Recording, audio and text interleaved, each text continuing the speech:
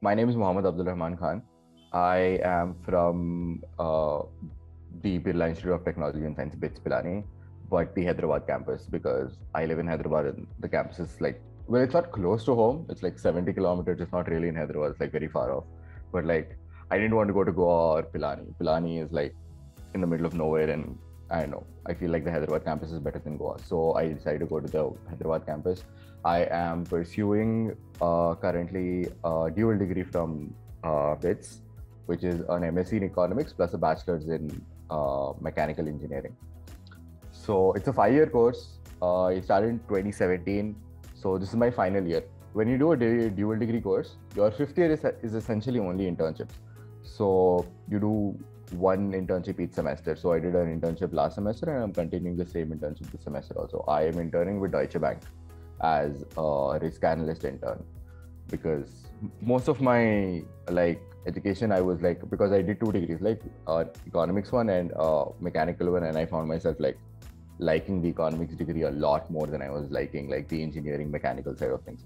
So I decided like yeah fine I'll probably focus on like you know the finance side of things, the economic side of things, the management side of things so yeah that is the internship that i'm doing right now this internship ends on the 24th of june and then i'll be done with my bachelor academics essentially uh, so uh, yeah i've also gotten placed but i'm deciding not to go with the job offer which was a pretty tough decision so before i got into uh, INSEAD, which is what the which is the school i got into i got into a masters in management degree and mim at INSEAD. But this was, I think, my final admit. So I applied.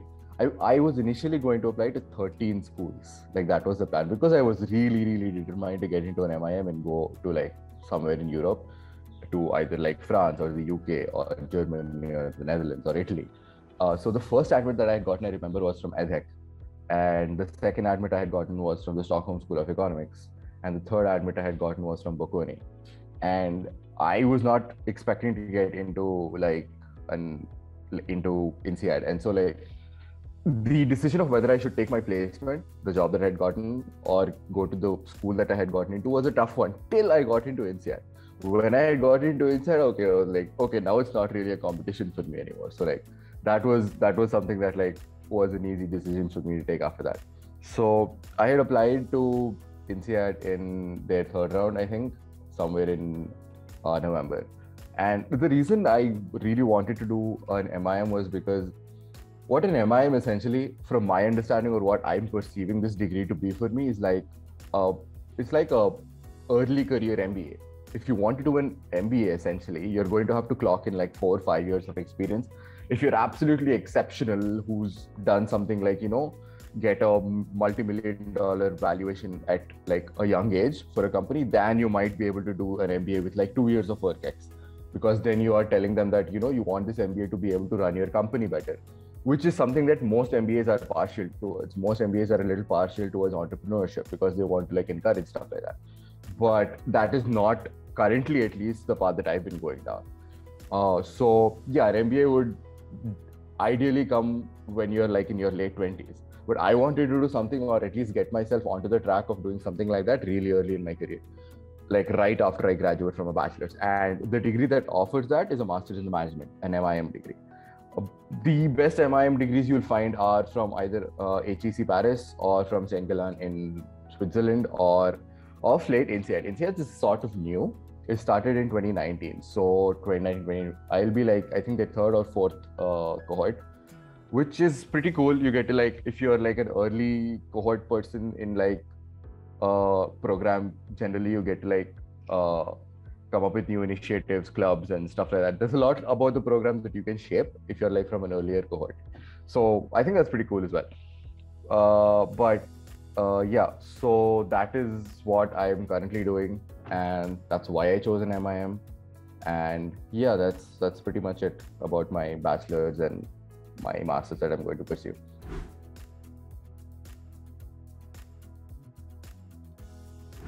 So I'll be really, really honest, okay? INSEAD, apparently I had heard from like one of my, not batchmates, but like one of my seniors, I think, who had like also applied to INSEAD or whatever, uh, that when you apply to INSEAD, they give you uh, feedback on your rejection. If you get rejected, they tell you essentially why you got rejected and what is weak in your application. The reason I had applied to INSEAD is because I thought I was going to get rejected, and then I can use the feedback that they give me from their rejection and do better in my applications. So, I mean, I'll be really transparent about uh, my profile when I was applying. When I was applying, I was applying with a 6.78 CG, which is, I'll be very, very honest with myself, bad right? A 6.78 CG is by all means bad. A 7 plus, from which is considered to be uh, first division. Anything above 9 is considered to be distinction, but anything up 7 plus is supposed to be first division. And I thought I should at least apply with a division 1 uh, CGPA, which I was going to get after January. Like my semester that was going on from June to December was going on pretty good. So I estimated that after I get my updated CG after the current semester in from June to December, in Jan I'd have a CG that was above seven, and I'd apply with that seven plus CGPA, and that was the plan essentially. So I had applied to like just a few schools that I was not like super keen on getting into, and INSEAD for the feedback so that I could get give like really strong uh, applications in uh, January. So that was the plan, but I ended up getting into INSEAD, which I really, really didn't expect. So INSEAD was like a complete moonshot. I did not expect to get into INSEAD like now or post January or anything because in rankings, INSEAD is up there with Harvard. Like INSEAD and Harvard like battled it out between one and two. Financial Times puts INSEAD at one and Harvard at two. QS puts Harvard at one and INSEAD at two. So I was like, okay, this is like this is like beyond anything like I can expect to get into. Let's just apply, get rejected, use the feedback, and get into something more rational like ESSEC or ESCP, right? Maybe HEC, right? So that's what I I had initially a list of 13 schools to apply to, and eventually when I got into INSEAD, I had heard back from them by December.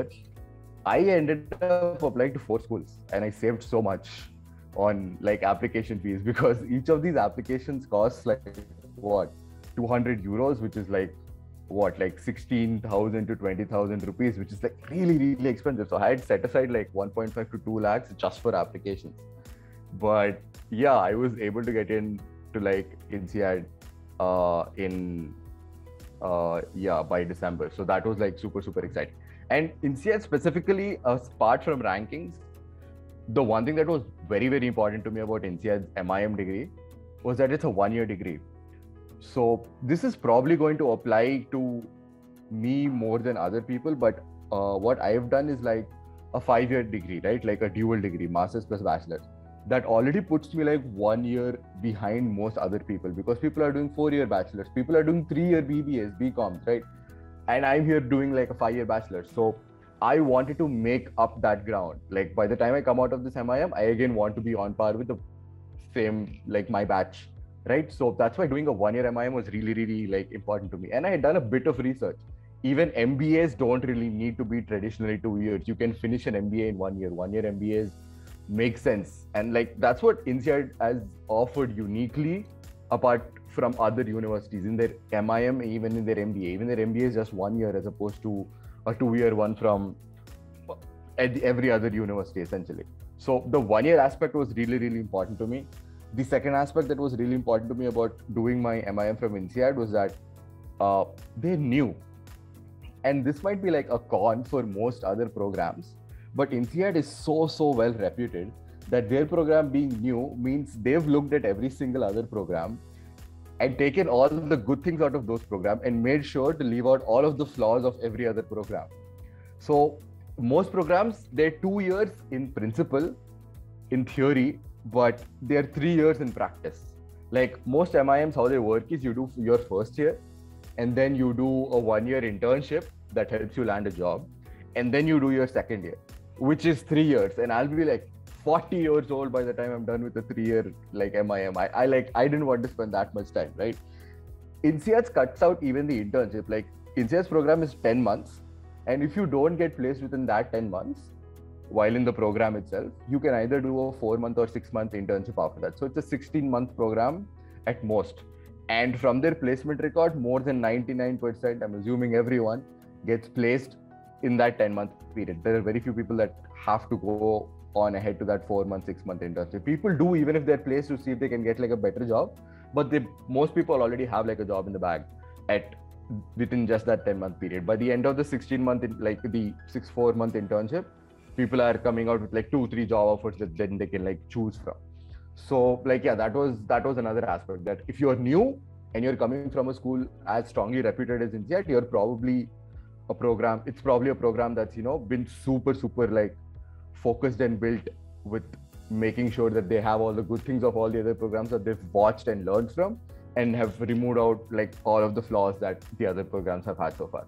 So yeah i think these are primarily the reasons that had motivated me to make sure like yeah INSEAD is what i want. But like huge brand name also like huge. So that's that's pretty much why INSEAD yeah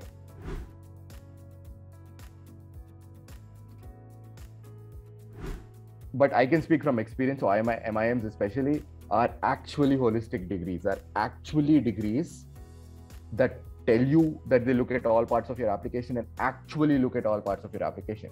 Like, yeah, masters in CS also will tell you the same thing. You go to Stanford's like masters in CS application, they'll say like, yeah, we want candidates who like, you know, like extracurriculars as well and everything, like who have an overall rounded profile. They don't they don't actually care about any of your extracurricular. They want a person who is very pro CS, who's done a lot of competitive coding, who has a strong computer science background, and those are the people that get in. If you did a little bit of CS, but you were, you know, captain of the swim team in your school, that doesn't count to them, because they're a very, very focused degree. It's a master's in computer science, right? So these people, will, these universities will tell you that their degree is like their admission process is holistic, but honestly, it's really not. Whereas I think for something like an MIM, like a management degree, it actually is holistic because it has to be read because what does a management degree teach you? It is not a single focused program. It's not a single focused course like computer science or like mechanical engineering. It is actually pretty diverse. You need to know how to deal with people. You know, you need to know how to communicate. You need to know how to lead. You need to know how to teamwork. So they actually get the best students by making sure they look at every element of your profile. So like, yeah, my grades were not great, but I think I made up for that. Like my grades were not great because I did a lot of like stuff in camp on college, like I was a, I was in clubs. I was like doing all sorts of random stuff in college, which which is why I'm going to say my grades were great. But there are plenty of people who've done the same amount of things on campus and maintained good grades as well. So like that is my reasoning. But like obviously I could have gotten better grades.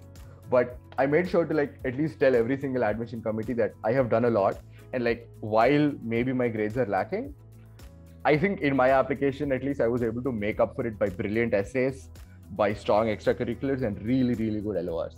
So yes, every element, at least in MIM applications of your application, does matter. Do not take easily any part of your application. Like I think they have to like take five checkboxes, and they were able to, in some amount, check all five for me because my 10th and 12th also were really good. I was like 94.3% in 12th or whatever, and uh, my GMAT also was like, I don't know what my GMAT was like. I don't know if 700 is good or bad. I think 700 is above average that of the scores that they'll receive, but it's not an exemplary score. So they were go- they were probably able to check the box like, yeah, this person's academics is not something we have to worry about. Like he's not like extremely good at his accounts, but like it, he's a safe bet as far as academics and everything else on the list they were easily able to take off because I had like shown that I was capable of doing everything else. So like yeah, pay a good amount of attention to like every single part of your application because it does matter